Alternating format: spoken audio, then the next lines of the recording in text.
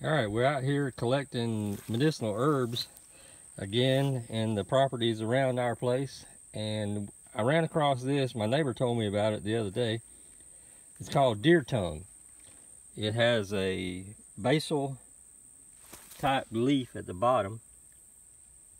And then it makes a stalk once in the spring and once in the fall that makes a flower like this a beautiful little purple flower. Let me walk over here and I'll show you another one that I saw that has a little bit better flowers on it. How about those flowers right there? Aren't they beautiful? Well, it has medicinal value, but mostly it's used for the leaves being collected and they dry and they smell like vanilla.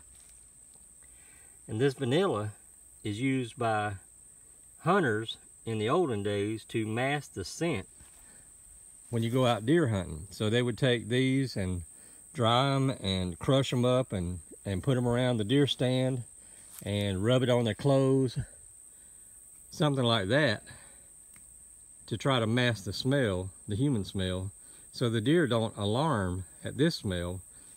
Because if you use an animal smell, they want to investigate and find out where that animal's at.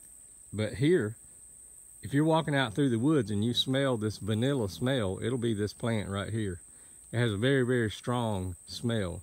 If you put it in the car and leave it in the car for a little while, it'll last three or four days inside the car. You'll smell it. It's a very pleasant vanilla smell. It's called deer tongue.